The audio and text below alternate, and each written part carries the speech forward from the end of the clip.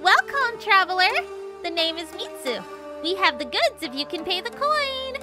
It's not going to be cheap. Uh, hey, I'm not even working at this time of the year. But I guess for so many coins, I can make an exception.